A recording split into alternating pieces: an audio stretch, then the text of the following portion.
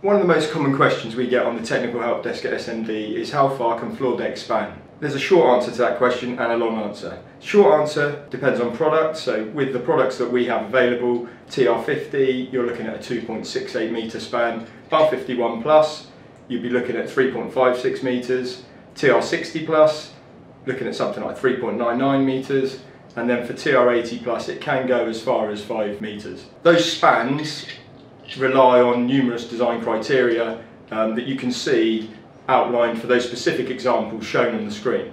However, those are very specific design criteria that might not match the build that you're looking to produce or the specification or design you're looking to carry out.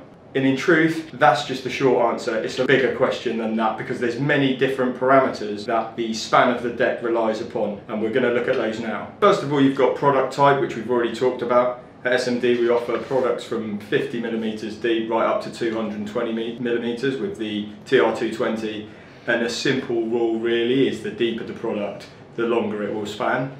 The other things that govern the unpropped span capability are slab depth. Um, and slab depth may be decided based on your fire rating um, but you can get slab depths from 100, just over 100 millimeters up to whatever you wish for your design. Um, and that will maybe increase for your loadings. All products have a minimum slab depth and they're all shown in our design criteria. You also have profile gauges, so each product comes in varying gauges from 0.7 to 1.2. Obviously the thicker the profile, the further it will span. Um, we also offer different material grades, so steel grade from S250 right up to S450. Um, the higher the grade again, the further the span. So there's a lot, as you can see already, just about the product that governs the maximum span. Beyond that, you've got the loadings you're going to apply to your slab, the reinforcement that you want to put in your slab, um, and that may be mesh, reinforcing mesh, it may be steel fibre reinforcement, and you may also wish to put bottom bars in. But again, the span will depend on what reinforcement you're going to put into your slab. So what is a span? When I say span, what, what does that mean?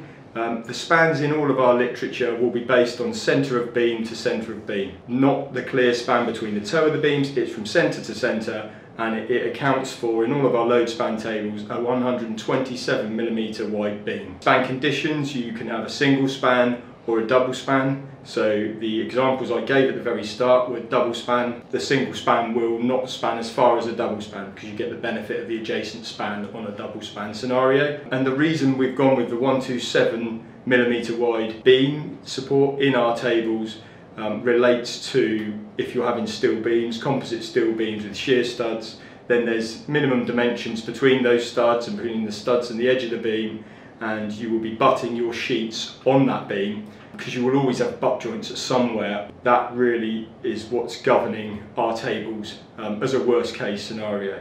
So if you're designing a build with composite steel beams where you've got studs and concrete working together, then the rule of thumb would be 127 millimeters should be your minimum beam width.